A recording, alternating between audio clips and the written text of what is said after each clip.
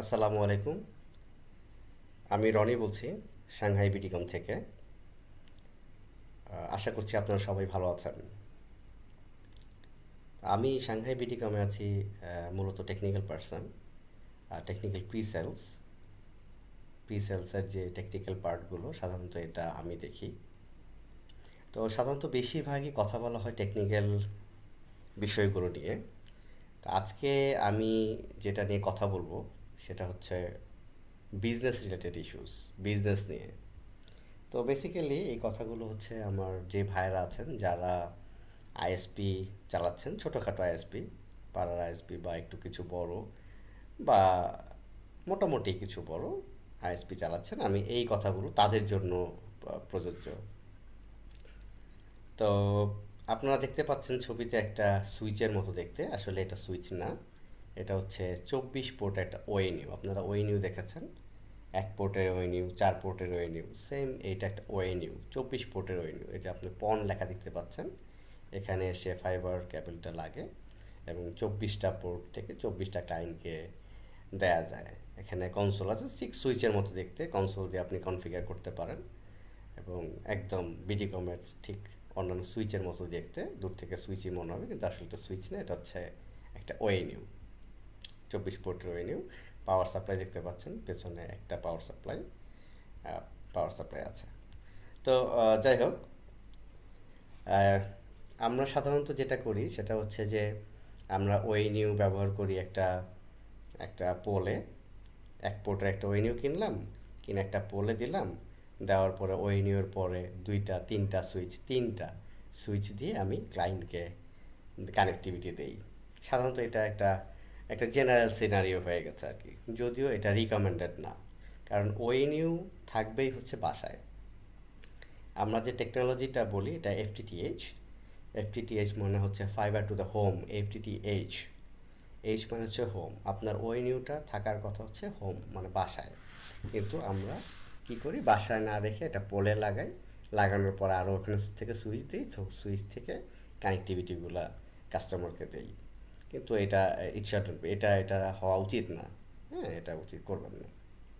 তো যে কারণে বিটি কম নিয়ে এসছে হচ্ছে চব্বিশ পোর্টের ওয়েনিউ, এই ওয়েনিউটা। তো আসলে আমরা যে সুইচগুলো ব্যবহার করি, সাধারণত সুইচগুলো নন ম্যানেজেবল এবং এই সুইচগুলো ব্যবহার করলে কি হয়? কাস্টমাররা প্রবলেম ফেস করে, আপনার হ্যাং হয়ে যায় বিভিন্ন কারণে। তখন আমরা কি করি? আমরা কাস্টমারকে এই প্রবলেমের জন্য আমরা ভেন্ডারকে ফোন দিই। ফোন দিয়ে আমরা বলি যে, ওই নিউ হ্যাং হয়ে গেছে। আসলে কিন্তু ওই নিউ হ্যাং হয় না। সুইচগুলো হ্যাং হয়, তাই না? সুইচগুলো হ্যাং হয়ে গেলে তখন আপনি বুঝতে পারছেন যে, ওই নিউ হ্যাং হয়। তখন সুইচ হ্যাং হলে তো কাস্টমার পাবে না রাইট কাস্টমার তো আপনার কমপ্লেন করবেই।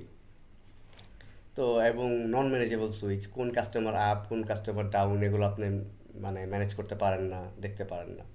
তো এই প্রবলেমগুলো দূর করার জন্য আসলে এই চব্বিশ পোর্টের ওই নিউটা আছে। তো আমরা যেই সুইচগুলো ব্যবহার করি সেগুলোর দাম সাধারণত কত?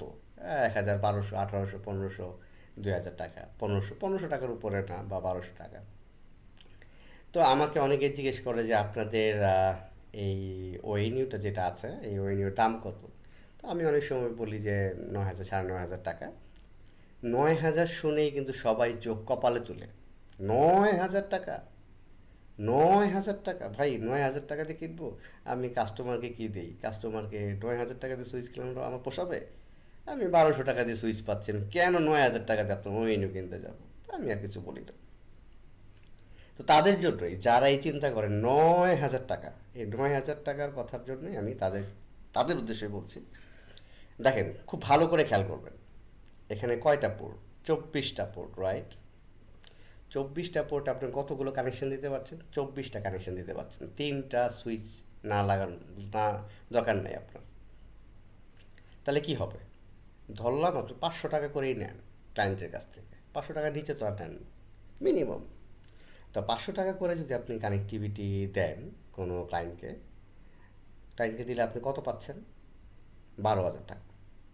আপনার বারো হাজার টাকা কিন্তু ফার্স্ট মান্থেই চলে আসছে রাইট বিজনেসে একটা কথা আছে, আপনার return of investment R O I ROI বলে একটা কথা আছে বিজনেসে আপনি ইনভেস্ট করছেন, এটা রিটার্ন কি আসবে?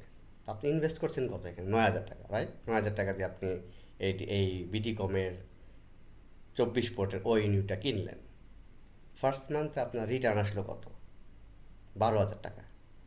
নয় হাজার টাকা দিয়ে কিনলেন বারো হাজার টাকা রিটার্ন আসলো। ধরলাম আপনার সবগুলো কানেক্টিভিটি নাই, দিলেন না, বিশটা তো আছে। বা এই চব্বিশ পোর্টেরটা হচ্ছে চব্বিশটা ক্লায়েন্ট থাকলে আপনি দেবেন। না হলে আমাদের আট পোর্টের সুইচ ওই নিউ আছে, ষোলো পোর্টের ওই নিউ আছে, যেটা আপনার দরকার সেটা লাগাবেন। তারপর আমি ধরলাম আপনার বিশটা ক্লায়েন্ট তারপরও আপনার দশ হাজার টাকা আপনার চলে আসছে কিন্তু ফার্স্ট মান্থে তাহলে আপনার ইনভেস্টমেন্ট হচ্ছে নয় হাজার টাকা, আপনার রিটার্নটা প্রথম মাসে কিন্তু চলে আসলো। ভালো করে খেয়াল করেন।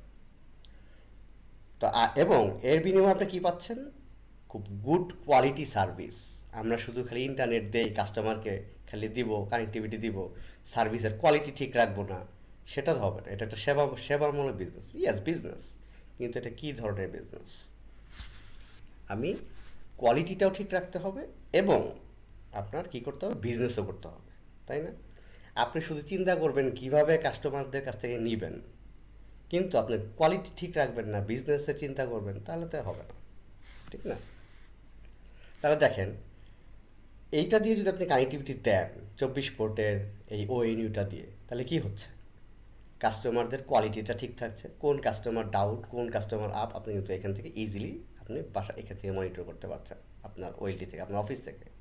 আপনার লুপিং হওয়ার চান্স নাই এভরিথিং খুব ইজিলি আপনি করতে পারছেন। আর তিনটা সুইচ যদি লাগান একটা সাথে একটা সুইচ হ্যাং হয়ে যাবে non manageable R this is manageable this is on O N U manageable এ প্রতিটা পোর্ট ম্যানেজেবল প্রতিটা পোর্টের আপনি গ্রাফ ক্রিয়েট করতে পারবেন।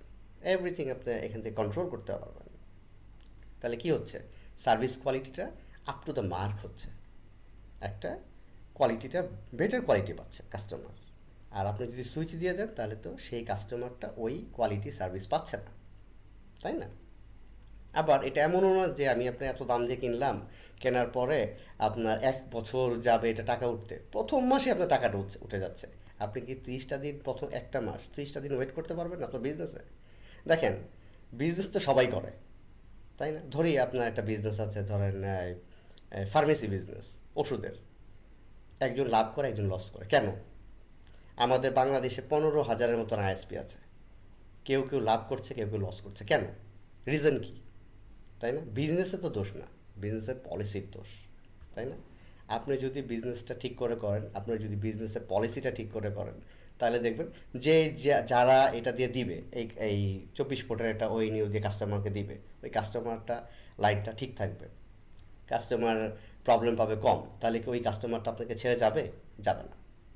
আর যদি আপনি বারোশো টাকা দিয়ে সুইচ দেন, পনেরোশো টাকা দিয়ে সুইচ দেন, ওই কাস্টমার এফেক্ট হবে কাস্টমার প্রবলেম করবে, সে আপনার কাছ থেকে চলে যাবে।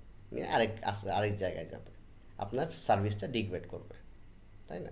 সুতরাং আপনি শুধু বিজনেস খালি আসবে খালি টাকা পাবেন আর নয় হাজার টাকা শুনেই আপনি চলে যাবেন, তাহলে তো আপনি বিজনেস করতে পারবেন না। দিস ইজ নট বিজনেস আপনাকে বিজনেস করতে হবে গুড কোয়ালিটি সার্ভিস দিতে হবে রাইট সুতরাং আমার এই, এটা বলার উদ্দেশ্য এটা ছিল, সবসময় আমি টেকনিক্যাল নিয়ে কথাবার্তা বলি। আজকে মনে হলো যে বিজনেস নিয়ে একটু কথাবার্তা বলি। কারণ হচ্ছে যে এই ওয়েনিওর প্রাইসটা আমরা যাকেই বলি, তারাই নয় হাজার টাকা শুনে চোখ কপালে ওঠে, তারপর আর তারা এটা কিনতে চায় না। ওকে ফাইন একবার আপনি চিন্তা করে দেখবেন, আমরা কিন্তু যে কি, বাঙালি। বাঙালি চিন্তা করে কি, সামনে দিয়ে দেখলে দেখা যায় যে যাচ্ছে কত টাকা, পিছন দিয়ে যে যাচ্ছে, এই যে আপনার কাস্টমার আপ ডাউন হচ্ছে, যাচ্ছে, আসছে, এগুলো কিন্তু আমরা চিন্তা করি না।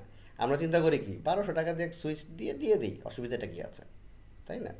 তো সুতরাং আমি ওই ভাইদেরকে বলব, যারা গুড কোয়ালিটি সার্ভিস প্রোভাইড করতে চান এবং যারা বিজনেস করতে চান, তারা এই জিনিসটা মাথায় রেখে ব্যবসা করবেন বিজনেস করবেন। আর আমরা বিটি কমে যারা আছি, সবসময় আমি, আমরা আপনাদের সাথে আছি। যে কোনো সময় যে কোনো টেকনিক্যাল হেল্প দরকার হলে তো আমরা আছেই। অ্যাজ ওয়েল এজ আমরা চিন্তা করছি আপনাকে বিজনেস কীভাবে ডেভেলপ করা যায়, আপনাকে বিজনেসে কীভাবে সুবিধা হয়, কীভাবে অ্যাসিস্ট করা যায়, সেগুলো আমরা মাঝে মাঝে আমরা হেল্প করব। কেমন? ধন্যবাদ আপনার মনোযোগ দিয়ে এই, এটা লেকচারটা শোনার জন্য। সবাই ভালো থাকবেন। আসসালামু আলাইকুম।